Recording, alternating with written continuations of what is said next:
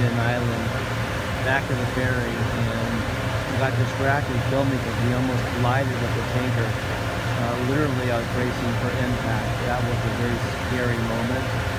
And uh, the driver safely navigated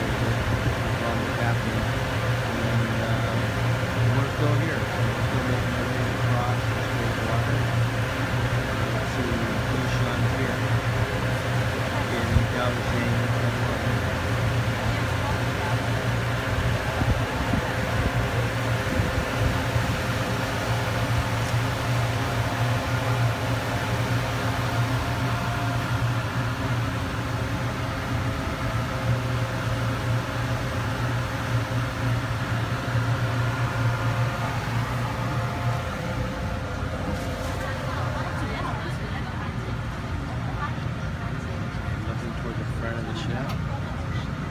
We can call a ferry a ship, but coming into here.